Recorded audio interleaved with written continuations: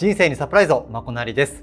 今回は憂鬱が消えるマイナス思考から一瞬で抜け出す具体的な方法トップ3を話していきます。前向きに考えようとか人と自分は違うと割り切るとかそれができれば苦労はしねえという抽象論話しません。私の実体験を踏まえた具体的なガチで本当に使えるやつを話します。私の元に寄せられる相談の中でトップクラスに多いのが一体どうやったらマイナス思考ネガティブ思考から抜け出すことができるのかという質問です。分かりますよ。考えても仕方がないと分かっているのに頭の中でぐるぐるとネガティブなイメージが湧いてくることありますよね。私もあります。寝る前歩いている時家で映画を見ている時なんかにもあなぜあんなことをしてしまったのかと悪いイメージがふと浮かんでくること今でもあります。企業生活の中でマイナス思考から抜け出せないことも何度も経験しました。自分にはもう何もできないんじゃないかと自信を失って絶望することありました。今ではねネタ話にして笑っているようなこともその当時はご飯食べても味がしないくらいマイナス思考にとらわれていました。もちろん今はもうだいぶ精神的に鍛えられたんで大丈夫なんですけど人よりも多くのマイナス思考を乗り越えてきたと思います。そんな私からあなたにマイナス思考から抜け出す具体的な方法をお伝えします。この動画をあなたの心のポケモンセンターにしたい。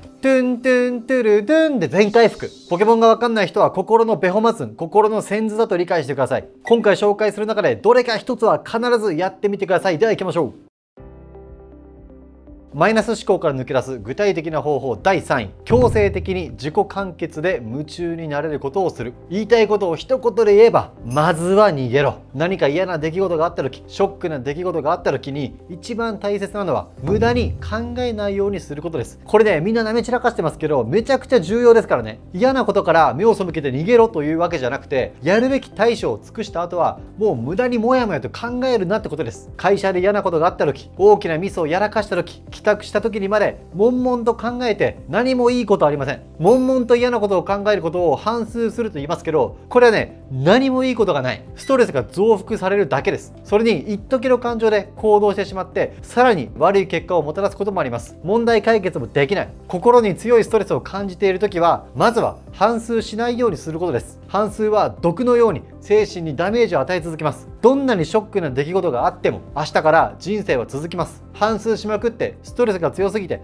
メンタルが心が壊れてしまったら終わりです。冷静じゃない時に判断してもろくなことがありません。人生どんなショックな出来事も時間が経てばどうでもいいことに思えてきますから。まずはただ時間を流す。これを優先してください。私がいろんな方の人生相談に乗った中では責任感が強くて他人の感情を大事にする人ほど考えても意味がない時にいつまでも悶々と反数しがちです。そんな人に伝えたい。心が傷ついた時には無理せず休んでいいんだよ。とりあえず休んで時間を流せ。そうすればまた希望は必ず見えてきます。私もそうでした。もうこれはどうしたもんかと絶望しても時間が経てばまた力が湧いてきた。なので仕事がきつかったら休んだらいい。気が済むまでいつまでも休んでいいんです。とはいえね嫌なことはやめてマイナスなことは考えるなと言っても考えるなと禁止されるほどやりたくなるカリギュラ効果みたいなものがあって考えちゃいけないと思うほどむしろ一層考えてしまいます。だから私のおすすめは強制的に自己完結で夢中になれるものをやることです。具体的にはテレビゲーム漫画アニメのようなエンタメ料理掃除のような家事スポーツやジムでのトレーニングのような運動思い切って旅行に行くストレス発散会のリーサルウェポンサウナ。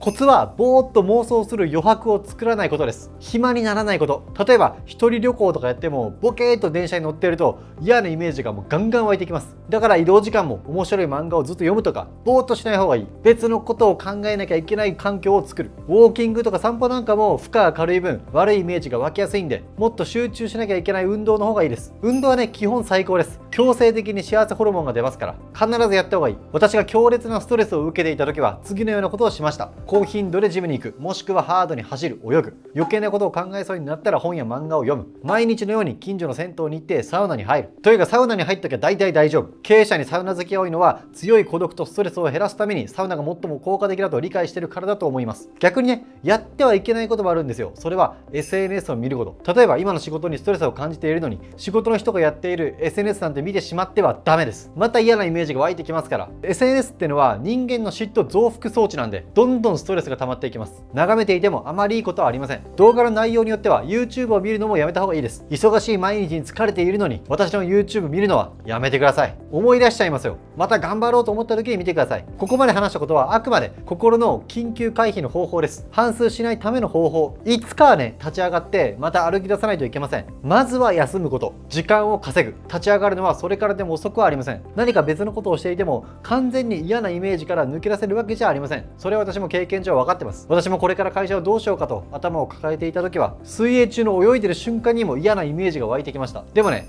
何もしないよりは間違いなくストレスは軽減されてました。当たり前だけど忘れがちなこと。あなたの心を守れるのはあなただけです。誰に何と言われようと逃げることができるのもあなただけ。どんなに辛くても立ち向かうことが美徳とされている世の中ですけど私は時にその美徳は身を滅ぼす呪いになり得ると思ってます。疲れたら休む。物事はシンプルに考えましょう。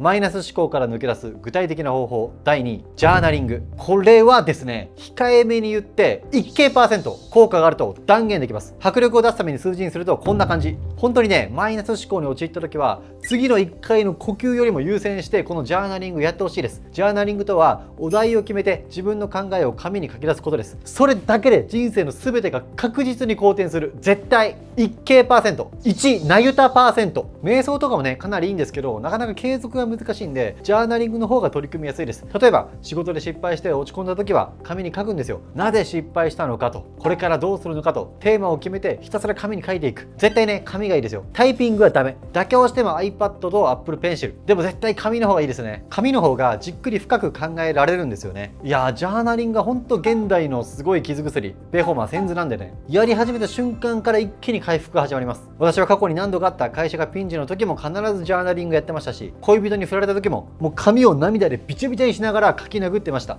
あれおかしいな。この髪すぐ破れちゃうな。あれなんだろう。この頬を伝う。熱いものはこれが涙。ジャーナリングは私の人生を変えてくれた習慣です。0秒思考という本がきっかけだったんでメモ書きという言葉で紹介していました。これはねいいから黙ってやってほしい。一応ねちゃんとした研究でも効果は実証されてるんです。給食活動中の失業者にジャーナリングをやってもらったところジャーナリングをやったグループの方が仕事を得られた人の割合が多かったんです。ジャーナリングしなかったグループは3ヶ月後に就職できていた割合は13%ジャーナリングをしっかりしたグループは50%以上の人が仕事を獲得していました。すごいですよね。なぜ紙に書き出すだけでこんなにいい効果があるのか。私は最近ね説明できるようになりりました。ジャーナリングで良い効果がある理由は慣れです。もやもやとした感情を文字として書き出すことで受け入れがたい事実に手っ取り早く慣れることができます。紙に書き出さずに頭の中で悶々と反芻しているとずっとネガティブな感情が残ってしまうんです。悪いイメージが何度も湧いてくるだけで消化することができない。人間っていうのは誰もが本来前向きなんです。何か問題があれば自ら行動して解決しようとしますよね。子供もみんなそうしますよね。どんなにひどい出来事があったとしても紙に書き出していけば徐々に受け入れることができます。最後はよし頑張ろうと意欲が湧いてきます。私も自分の考えていることをひたすら書き出して効果を実感しました。1回やるだけで、劇的に変わるわけじゃないです。だけど数日から1週間時には1ヶ月繰り返し取り組むことで心の傷は早く塞がっていきます。やり方は紙とペンを用意して書き殴るだけ。時間は10分から20分でいいです。軽くねコツを書いておきます。1つのテーマについて決められた時間書く。1つのテーマ10分から20分がおすすめです。書きながらテーマが途中で変わっても OK2 つ目手を止めずに全部書く。うまいこと書こうとしないでください。誤字脱字も OK ひらがなでも OK ぐちゃぐちゃになっても気にしない。自分の気持ちを全部書く。書いたものは基本人に見せないです。その代わり本音を全部正直に書いてください。私の机の上には常に A4 用紙が今でも置いてあります。無人島サバイバルをしなきゃいけなくなった。無人島には一つだけ何かを持っていくことができる。ある人は水を持ってきました。ある人はナイフを持ってきました。ある人はマッチを持ってきました。私は何を持ってくるか。A4 用紙を持ってきます。ぶん殴られます。ということで第一発表前にお知らせです。転職成功人数ナンバーワンのプログラミングスクールテックキャンプを運営しています。エンジニアはとても需要のある仕事です。自分の仕事に満足していない方エンジニアという選択肢はどうでしょうか。過去にテックキャンプを通じて IT エンジニアに転職した卒業生の多くがリターンを実感しています。テックキャンプエンジニア転職は専門実践教育訓練給付金制度の指定講座です。特定の条件を満たした方に受講料の最大70%上限56万円分が支給されます。迷っている方はぜひ一度カウンセリングに相談に来てください。概要欄にリンクを貼ってます。ではいよいよ第1位です。私は今日のようなランキングを作っている時は一応ね別の人に見てもらってるんですよ。仲間とかアシスタントとか客観的な意見をもらって決めてます。今回もそうしたんですけどほぼ全員から私はこれに救われたと言われました。私の近くにいる人なんで当然バイアスはかかっていますけど私もこれには人生がもう540度変えられたなと思ってます。マイナス思考から抜け出す具体的な方法。第1位人生を変える本を読む。人生を変える本とは何か。こちらの4つです。自分の中に毒を持て7つの習慣反応しない練習嫌われる勇気。もちろん他にもねいい本たくさんあるんですけど私がおすすめし続けているのはこの4冊。これらの本を読み返すだけでいい。それだけ。それだけで人生幸せに生きることは絶対できる。この4冊の中で1冊だけおすすめしてって言われたらダントツで嫌われる勇気ですね。心に響くストーリー。過去に動画にしたこともあります。今回改めて本の内容を全部紹介することはしませんがマイナス思考から抜け出すという観点で改めてこれらの本の内容を私の言葉で話したいと思います。私はこれらの本何度も何度も読んでいます。すごくざっくり言えばどれもね大枠は同じようなことを言ってるんですよ。というかね心を動かされるような生き方を語ったスピーチや本全部内容似てます。スタンフォード大学のスティーブ・ジョブズの伝説のスピーチ内容似てます。人生を前向きに変えてくれる言葉というのはあなたも必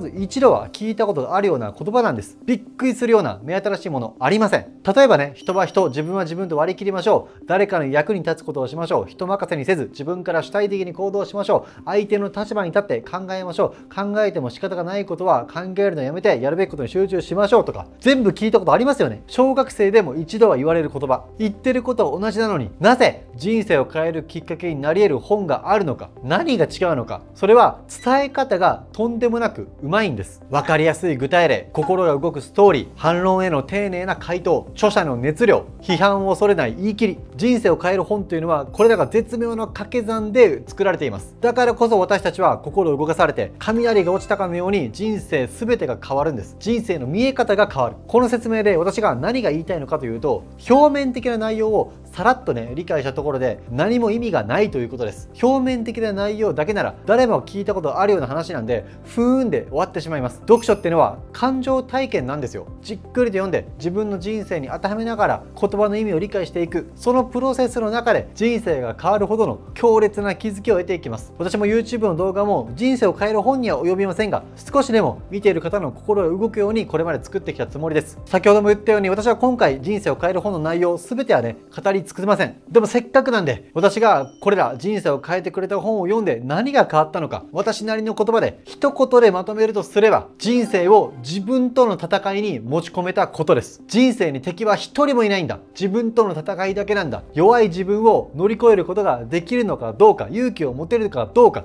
常に勇気それだけが問題なんだということに気づくことができました。私はずっと今のような考え方を持っていたわけじゃありません。子供の頃から人と違うことをするのは好きでしたし黙っていてもやってしまうタイプでした。だけど大人になるにつれて他人の目線や世間の常識を気にするようになっていきました。誰かの決めた正解を探すばかりで自分の本当にやりたいことは我慢するようになっていました。ちょっと人と違うことをやろうとするとバカにされたり叩かれたりしました。それが怖くて仕方がありませんでした。正論というのは残酷です。反論できないんです。まだ誰もやったことがないことは誰も説明することができない。先人たちがやったことに当てはめてそんなのはうまくいかないよと言われてしまうともう何も言えないんです。そんな大人の世界に触れて気づいたら誰かに直接批判をされたわけでもないのにいつつも周りの人がどう思うだろうかを気にするようになっていました。そんな時期に読んだこれらの本は私に無限大の勇気を与えてくれたんです。嫌われる勇気。本のタイトルでもあるこの一言には本当に救われました。これはね人に嫌なことをしてどんどん嫌われた方がいいというわけじゃありません。嫌われることでしか自分の人生を生きることはできないんです。嫌われないと幸せになれない。自分が信じる道を進むというのは必ず誰かを傷つけるということなんです。人生というのは選択です。自分は一つ。何かをやるには何かを捨てないといけません。何かの意見を持つということは他の意見を持たないということなんです。例えば転職したいなと思った時に同僚は転職しない方がいいと言ってる。両親は A 社に転職しろと言っている。昔からの友人は B 社に行った方がいいと言ってる。恋人は C 社に行った方がいいと言ってる。さあどうしましょう？全ての人を満足させる生き方なんてありますか？全ての人の期待を満たして生きることなんて構造的に不可能なんですよ。私がこうやってポジションを取って発言するだけで誰かを傷つけてしまいます。例えば嫌われる勇気の言う通りに行動したけど痛い目に遭った人がいたとします。その人の気分を悪くしてしまうかもしれません。嫌われる勇気アンチの人いるでしょう中には。その人を怒らせてしまうかもしれません。YouTube での発信だけじゃなくて私は本当にたくさんの数えきれないご迷惑をおかけしてきました。誠心誠意ずるいことはせずに一人でも多くの人の人生を変える機会を作ろうとそのために人生の時間を使おうと仕事を頑張ってきたつもりですが力不足でお客様や仲間にご迷惑をおかけすることたくさんありました。本当に失敗だらけ反省だらけの人生です。私は自分のやってきたことが全て正しかったというつもりはありません。だけどもし私がもう誰にも迷惑をかけたくない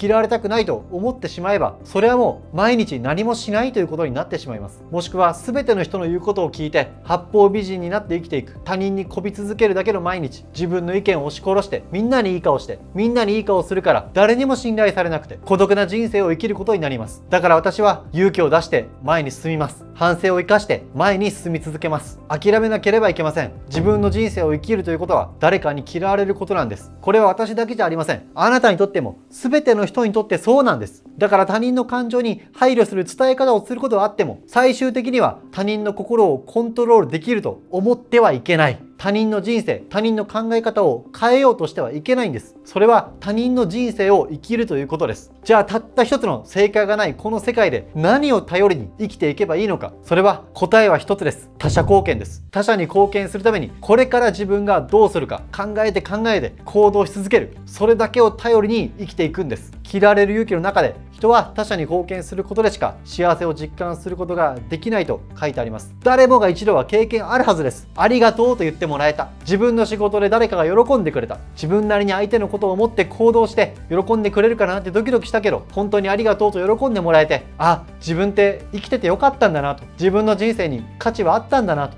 心から感じた経験ありますよね。誰もが孤独を感じています。誰もが暗闇の中にいる。そんな中で他者に貢献するという星だけが私たちを照らしてくれます。私はこれからも他者貢献するためにこれからどうするかだけを考え行動し続けようと思います。仕事はうまくいくこといかないことあるでしょう。YouTube だって永遠に続くわけじゃない。50年後も続けてるとは思えません。いつかは終わりが来るでしょう。けど自分がやることが変わっても他者に貢献する。誰かの役に立つ。そのことだけを考えて行動する。それをやり続けようと思います。人は油断をするとつい他人を変えようとしてしまいます。敵を作りたくなります。被害者面をしたくなります。その方が楽だから。そんな弱い自分と勇気を出して戦い続けること。それが幸せに生きることだと信じています。ということで、ここまで見てくれて本当にありがとうございます。今回話しきれなかったことはおまけトークで話そうと思います。私は YouTube だけじゃなくて、インサイドストーリーズという月額サービスも運営しています。最近かなりクオリティも上がってきていると思います。人生を変えるきっかけになる話をしていますので、ぜひ1週間無料試してみてください。今回の動画役に立った、面白かったと思ってくださった方は、高評価、コメントしていただけると嬉しいです。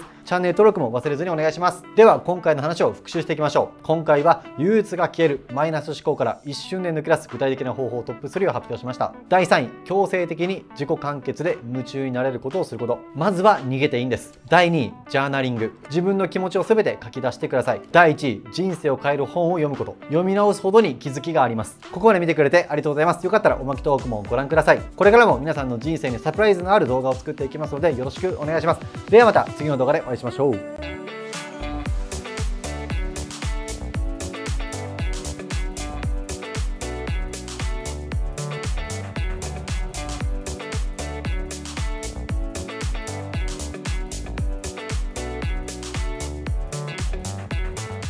では、おまけトークです。今回はね、おまけじゃありません。真面目な話をします。マイナス思考からね、抜け出すというテーマで話してきました。で、マイナス思考から抜け出すために、一番私が救われたのは、やはり仲間の存在でした。本当に追い詰められてる時とか、自分がピンチの時って、人の役に立つとか、誰かのために何かをするっていう気力がないんですよね。頑張れればもちろんいいんですけど基本的にはもう自分のことで精一杯になってしまうんです。だから私が大事にしたいなって思ってることは自分の心のコップの水がいっぱいねつまり幸せに溢れてる時に心のコップから溢れた水で誰かの乾いた心のコップを満たすっていうことを常日頃からやっておきたいなと。自分の心のコップがいつか乾いてしまう時もあるしその時に誰かに助けてほしい。